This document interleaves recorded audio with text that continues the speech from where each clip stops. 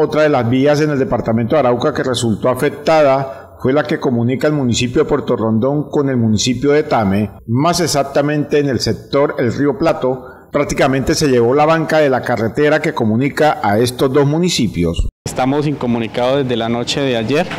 En el sector más conocido como el Plato hubo un desbordamiento del caño del Plato y se llevó parte de la banca de la vía. Hemos estado en comunicación permanente con el contratista de ese sector que tiene un proyecto en ejecución y el día de hoy eh, va a mover una maquinaria y va a habilitar el paso. Ese es uno de los compromisos que, que ha tenido con esta comunidad, con el sector y aún más con el municipio de Rondón, quienes somos los más afectados. El alcalde del municipio de Puerto Rondón, Luis Martínez, manifestó que esta es la única vía de acceso a su municipio y se afectaría el ingreso de víveres. Es la única vía que tenemos eh, de entrada al municipio de Puerto Rondón y por supuesto la única salida hacia el departamento y al interior del país.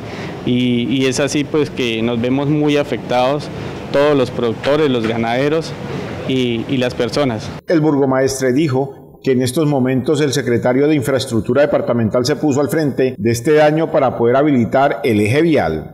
Sí, el secretario de Infraestructura Departamental ha estado muy pendiente del tema y se están tomando algunas acciones para poder avanzar de inmediato y habilitar el paso de este corredor vial. Por el momento, el invierno sigue haciendo estragos en el departamento de Arauca y las autoridades buscan ayudas para poder solucionar esta problemática que afecta a varios municipios del departamento de Arauca.